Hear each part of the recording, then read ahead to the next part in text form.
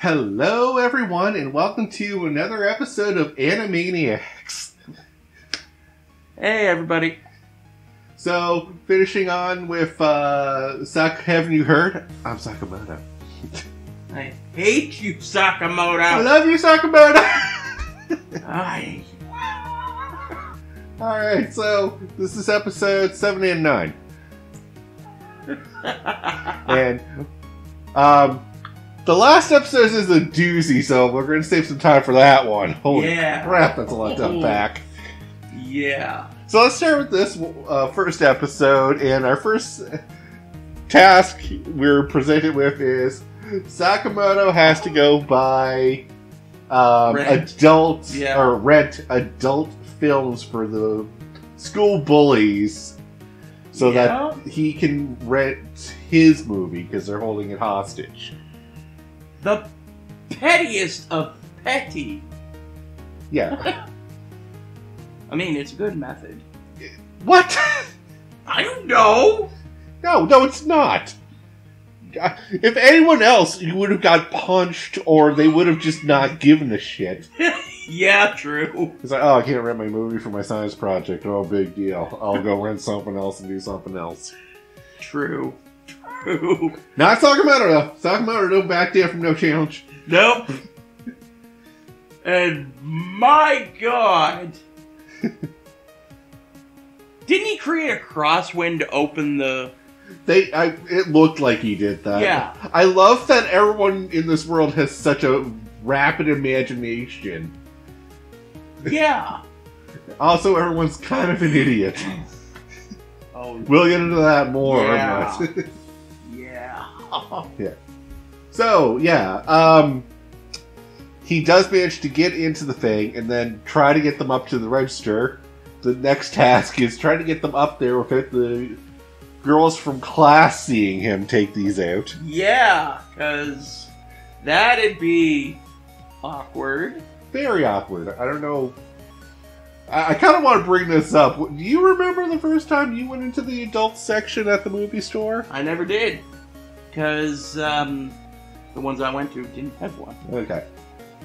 We had one that did, and um, yeah, it was always like this weird challenge for the teenage guys to try to sneak in there and rent one. I don't know why.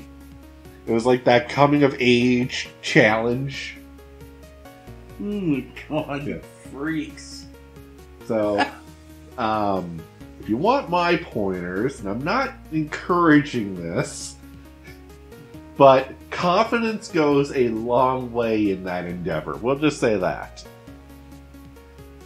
That actually makes sense. Yeah, D- don't make it look like you don't belong there. exactly.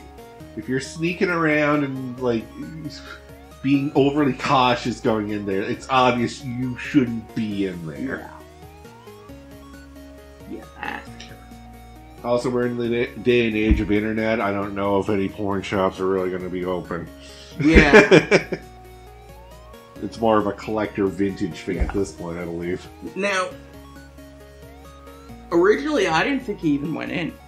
Yeah, I know. So they show that the door, like the curtain to the section, wavers, But you don't and you don't see him go in. And See, my theory was he ditched them. Yeah, he ditched them, managed to find a return copy, and then rented that. Yeah. But no! No, he did go in and he did rent quite a few. Like, I think he just took a whole aisle, to be honest. Yeah, it looks like he took an entire Shelf. flippin' aisle. Yeah. It's like, did you really have to rent the entire shelf? They didn't tell him what he wanted. What that's, they wanted. That's true. So I guess you kind of have to pick a little of everything. and like, whatever you're into, boys. It's like, what do you want? Here, here's a stack. yeah. Anyways, and then he gets up to the register, and they're like, "Oh yes, he's in the clear. There's a new guy working there. Do not question him." Right. And then the manager walks in, and Oh, the manager has basically seen every type of student try this, the rent uh, adult video. adult videos underage. And so he's like, "All right, let's play this little game of yours. Let's see Yeah. if you how long until you crack and run out of here." Yup. But no, Sakamoto, confident as ever, even drew a fake watch on his arm to make him look more adult.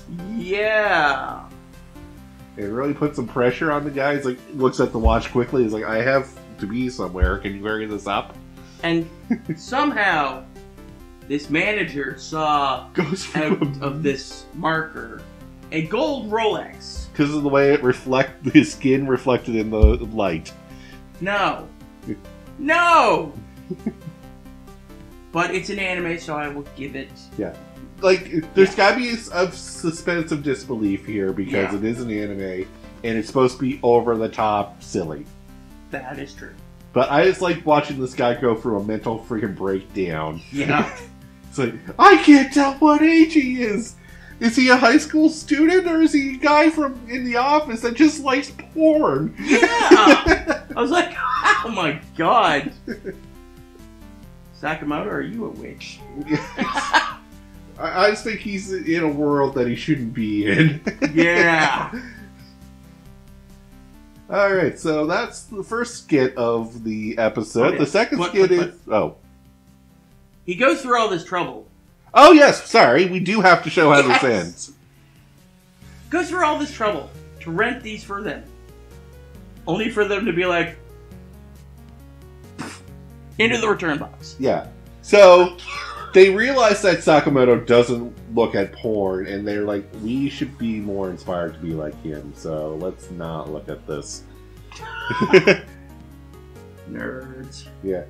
Yeah, fair. I mean, I think the moral of the thing is is be Let's more be like better. Sakamoto and be better. You Yeah. don't need to look at that stuff to be a, a man. That's true. Besides, you have the internet. Moving on. yep. So we have basically the sports festival episode. Oh god. Every high school anime ever, you're gonna see the culture festival and the sports festival. I don't care what anime it is, it happens. Yep. And this is a doozy. Yeah. So a group of the guys are worried that Sakamoto is going to outperform them at the sports festival and steal all the girls. So they all agree to sabotage. Yeah. They're like, well, we can't outperform. Not as individuals, but if we work as a team, Yeah. And, you know, make him look like the fool. have that work out for them. So, first thing we do is the uh, bread race. Um, Oh, this is, Yeah. If you don't know what this is, this is where you run a relay race and you uh, run to get a piece of bread at the end of the race With your teeth. with your teeth. And first one to get it down and cross the finish line wins. Wins. I think you have to eat it too, but I'm not sure on that rule. Yeah. This one didn't seem like it, that was the rule. Yeah. w- what did they do to trip him up? So they tied it in barbed wire.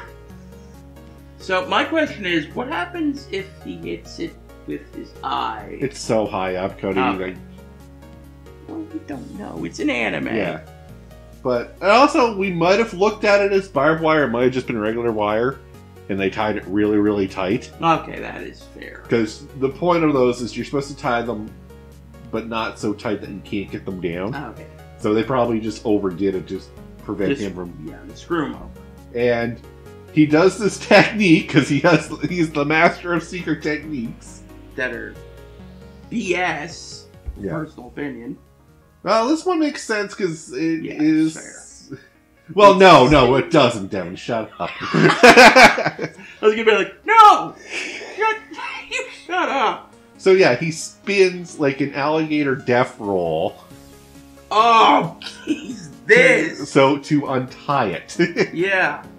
And the principal's watch is like, I've seen this technique before. It was when I was younger, and in my Cut, cut back to when he looks. and we see a flashback of him watching an alligator tear something apart with the death roll. Yeah. Blood splatter and everything. I was like, oh wow. Anyways, so Yeah. Sakamoto prevails, gets his thing in, and wins. Yeah. Uh, next, we have to make a human tower. And they're like, okay, when he's on top, lean a little bit so he falls off. So they all lean and wobble, but he just stands there and he's like the leaning tower of Pisa. And make them all. And the women are all swooning over him. Again. So the last part is the relay race. yep.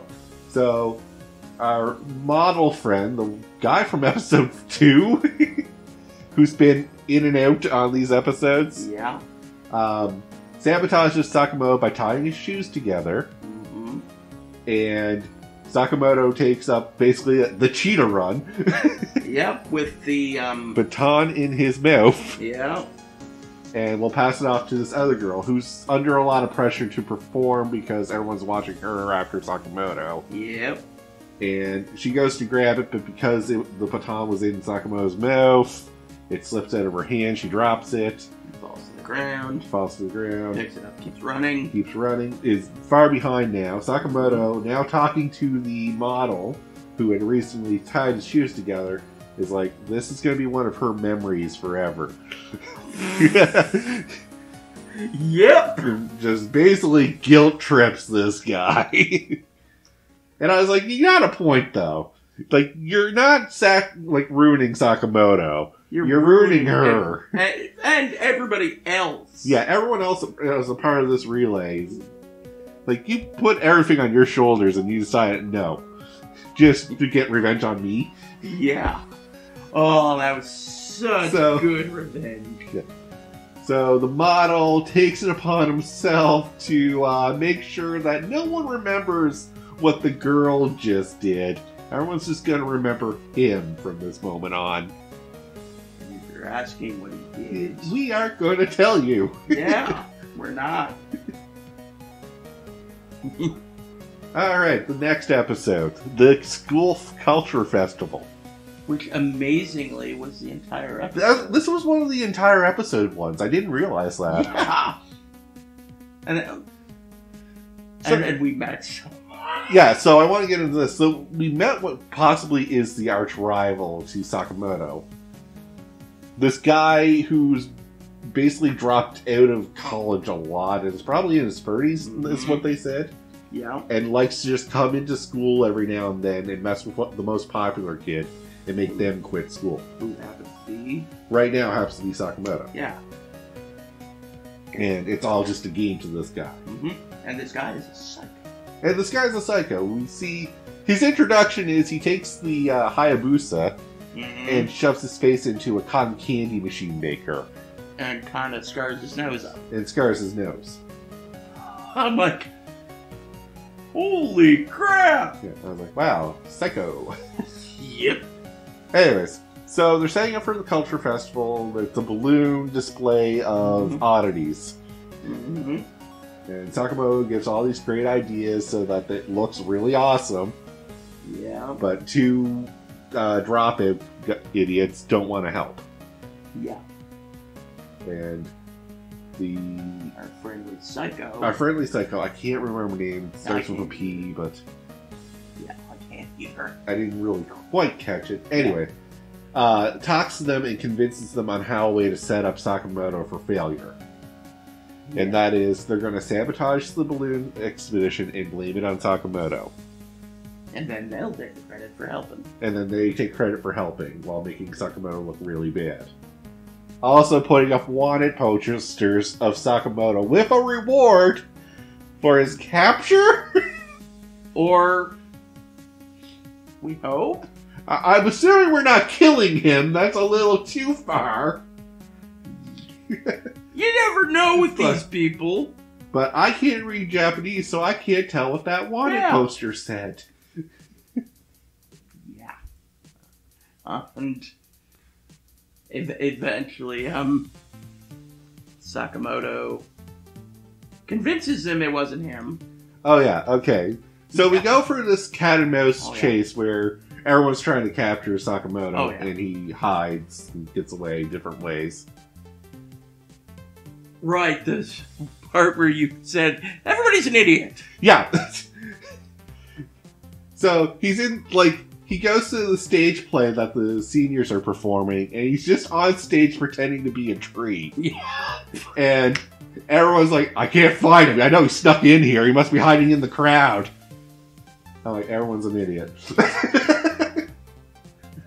I don't, I don't know. I think the part where you said everybody's an idiot is where he was sliding down the railing yeah. and then just switched to the stairs and they're like, Where'd he go? Yeah. like, you didn't see him just step around you?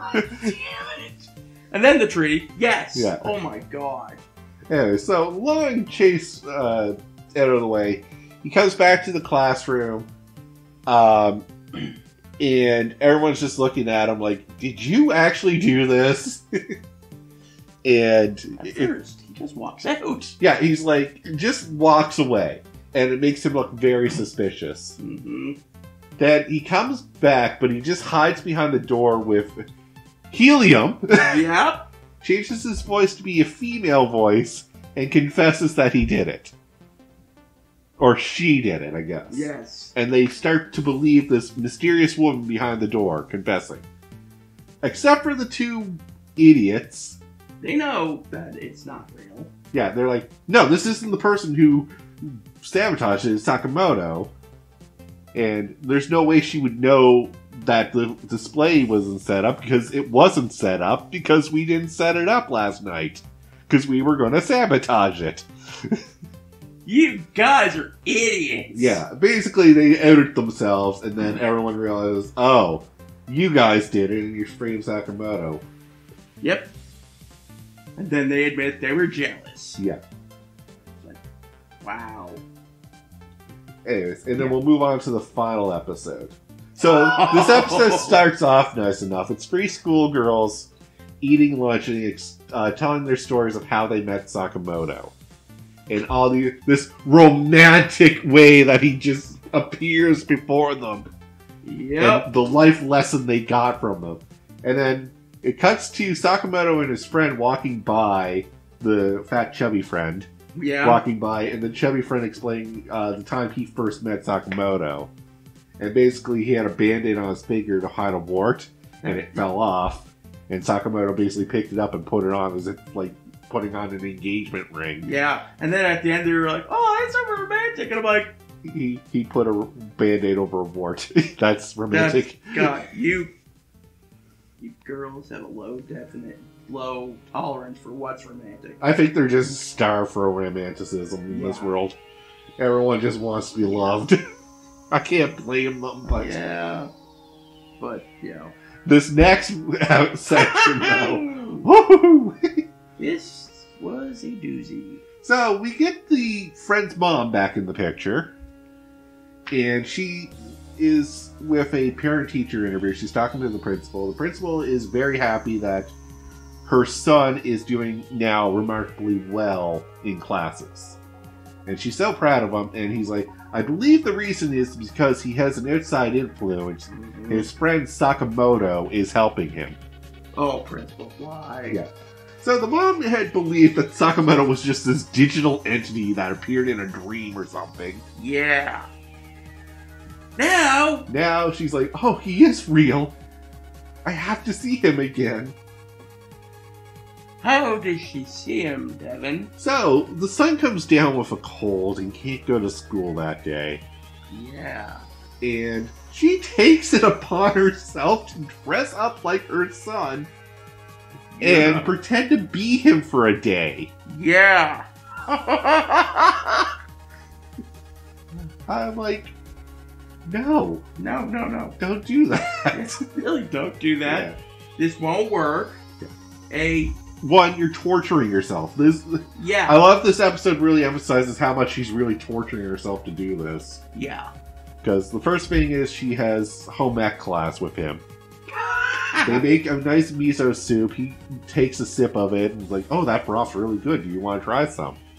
oh God, this. And it's like, "Oh, an, an inverted kiss of it from him."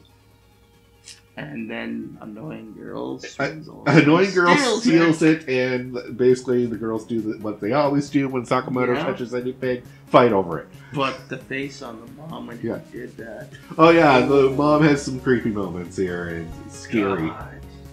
But then she reminds herself, "Is like, no, I'm pretending to be my son. I can't make this look weird." So, you know, I can't fight over the cup that Sakamoto just uh, sipped from. yeah. and isn't the next scene where they're getting ready for gym? Yep. And she's like, Well, I can't change in front of the boys, so I'll just go to the bathroom. And then the guys are like, Hey, Sakamoto, show me your six pack. And she stops, like, No, I can't look. oh, wow, that's more like a 12 pack. Goes to look. No, she still, like, stops her, she slaps herself. Yeah, that's what I mean. Yeah. Goes to look, slaps herself, Leaves. and then it's like, Show me those guns, bangs her head off the wall. quite a few times stomps her foot, yeah. just beats the crap out of herself. Yeah, basically just to LePage to remind her don't look because it'll be too much for you apparently. Yeah. And then they have Phys Ed, and she basically running right behind him the whole time, and then And just looks gives really scary. yeah, Oh. In- in- inevitably, trips. yep. Trips, falls, um, and realizes that this cannot happen. Yeah. This is wrong, and she should just leave. Yeah. So she goes back to the classroom. The guys come in. Um, we'll Oh. skip this part for Yep. the most part. It's not comfortable. Yeah, it's real It's- wrong. Well, it's high school guys being high school guys. Yeah. They're talking about the other girls uh, Parts. during parts during gym class. Yes. Yeah. And um, Sakamoto Yeah. creates a distraction. Yeah, we'll say that much. Yeah. J- Anyway, it's not as, like we're playing it up as being uncomfortable. It's not a great scene, to be honest with you. Yeah, it's It's harassment, and we'll not yeah. talk more about it. He does give her like when she fell, her Yeah. like shell necklace. broke. yeah, her shell necklace. She he repairs and gives it back to Yeah. her. It's kind of hinted that he knew all along it was her. Mhm. I mean, it wouldn't take him a genius to figure that out. And we know he's a genius. Yeah. But she comes to the terms that, like, no, I am a mother. I have to take care of my son. Yeah. That is my job. I can't be hunting Sakamoto Yeah. And anymore. then then we're treated to a nice little flashback montage. yeah, of her being a mom. Yeah. And And then cut to her taking care of her son. Yeah. It's a nice happy ending. Yeah. But and hopefully we won't have any more creepy mom. I think that might be the end of her. We have Okay, three cool. episodes left in Yeah. a special, so Yeah. I don't see Cool. her coming back. Before we wrap up, I do hope we do see the asshole from the second episode of this. Oh yeah. Uh you really want him as an arch rival. I do want him as an arch rival just to see that back and forth. Yeah, But that- I have a feeling we might not. It's three episodes left, so it's really late to throw in a rivalry at this point. Yeah, but you never know. I you never know. Yeah. So looking forward to that. Yeah. And until next time, we'll call the episode here. So thank you all very much for listening in. And the next part will be the last three episodes of this se- series, Wow. and possibly the special. We'll Yeah. see. Yeah, it's been a interesting ride. Yep. All right, have a good one, guys. Everyone, Cody's uh, flabbergasted still. Peace out. Love you, Sakamoto.